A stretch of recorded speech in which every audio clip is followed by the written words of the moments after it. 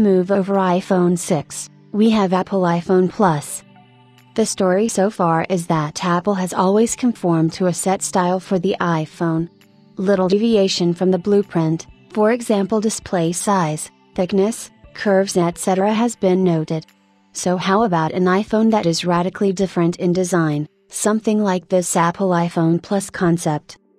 Designer, Faisal Simari